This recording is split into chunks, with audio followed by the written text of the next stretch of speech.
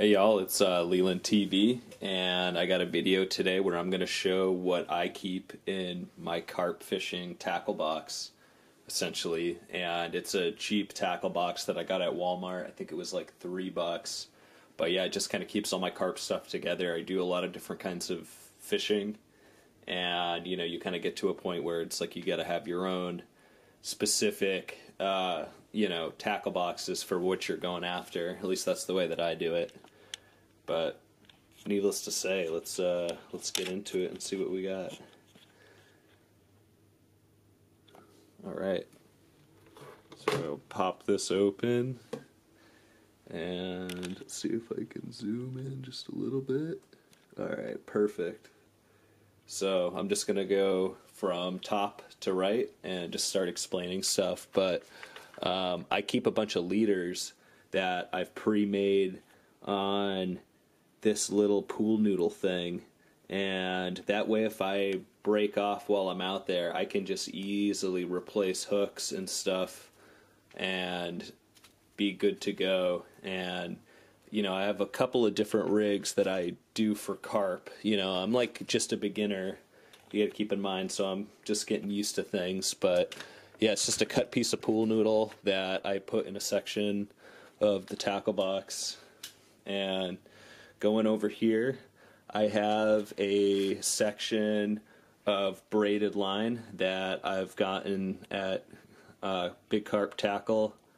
And the idea with that is, is this is what I was using um, to make my leaders. And it's a nice, convenient little little thing. So I keep it in my tackle box. But otherwise, I've just got a lot of like little little, little loose ends in there swivels and beads and line stops and you know that all that type of stuff. see if I can yeah. Just that kind of stuff. Keep that in there. Keep it pretty organized. And yeah. So I keep a lot of my uh, different leads over here, and this is a method lead and this is actually my favorite uh, rig um, to use for carp. The only problem is is that they're a little bit expensive, and um, these ones are a l- little bit uh, lower weights, but they do work. You want them heavy, like a two ounce or more is usually pretty good because you use the, a bolt rig, or at least that's what I use. Um, I ended up getting these cheaper cages and on Amazon, and I can make a pretty inexpensive carp rig using those. So that's one I've tried. I haven't caught anything with it yet, but I'm thinking it would work. I don't see why it wouldn't. And yeah, I just keep some of that stuff in there. Um, over here, I've got my fake corn that I got on Big Carp Tackle, and this stuff really actually does work. um, surprised to say, I'm very glad I got it. Um, this squid one, this fruity squid, I got a, I put it on a boilie, and I think it may have helped me catch a pretty large catfish. Um, so that's good. But yeah, I just keep those in there in that section. It seems to be a pretty decent spot to have them in. Um, down here, I've got some different leads uh, for re-rigging, and um, one of them are these uh, bell sinkers that I have, and I'll put in a picture of what it looks like with the rig. Um, but it just um, connects onto essentially like a what is it a um, sinker disconnect type of thing and these do work i've used them in uh, I like to use these with a uh, pop-up boilie, and that seems to work pretty well for me. So, and I'll put in a picture of what that looks like.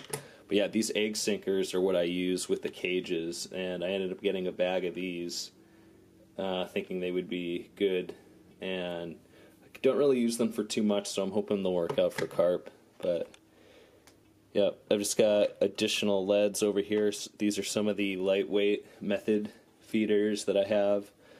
And then over here, I've got a lot of uh, boilie stops that I've just kind of accumulated. And I keep a pair of scissors. I have a baiting needle that I like to use um, for putting boilies on hair stops, and I'll put in a picture of what that looks like.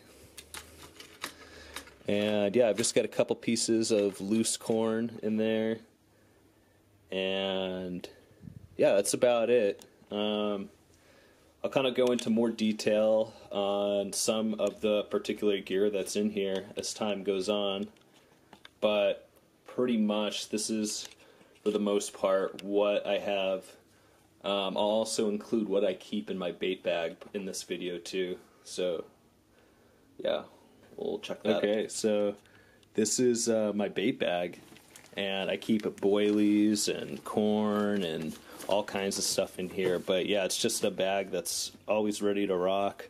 Um, I've got some pop up Nash boilies, I believe. Uh, I forget which kinds these are. Instant action, pop ups.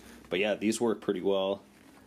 And I keep some other things in the pockets that I'd like to show you. I've got some PVA mesh that I got on Amazon and haven't necessarily had any luck with that. Maybe I have, I'm not sure. And then I've got the little Amazon uh, tackle kit that I use for like the traditional carp rigs where I use with the pop up uh, boilies, like I was just saying. These these boilies, pineapple crush boilies on the side. But yeah, really pretty simple. I do also keep a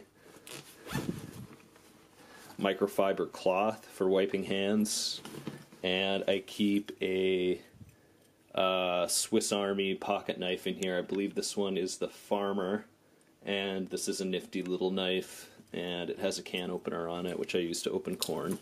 But I also use the knife too. It's good to have a few knives with you. But yeah, that's uh, essentially what I bring for a carp tackle and yeah, thanks for watching. I hope this could be helpful to somebody. And if you can, hit that like or subscribe if you found this helpful. Thanks again.